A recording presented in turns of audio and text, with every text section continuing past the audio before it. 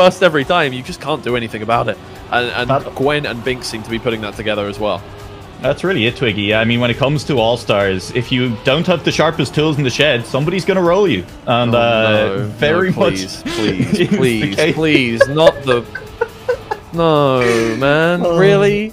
Look, Uh, like, uh, okay, uh, don't worry about it. You know what? Let's not even let's not even talk about it. Binks and Gwen again, first and second position as they get through to the finish.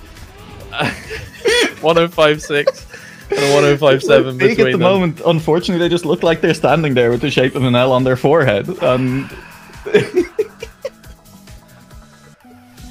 Well, uh, seven to one for Gamers First. They're driving really well, Twiggy. It's Yeah, two aces well- in a row.